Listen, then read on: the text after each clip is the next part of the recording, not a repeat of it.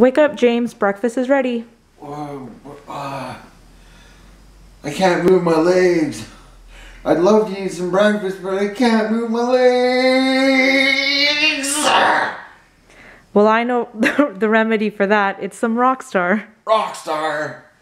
Do you think this grape Rockstar will work? It sure does.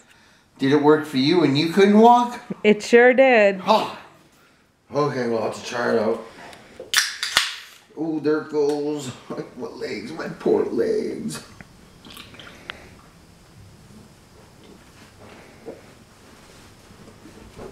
Ah.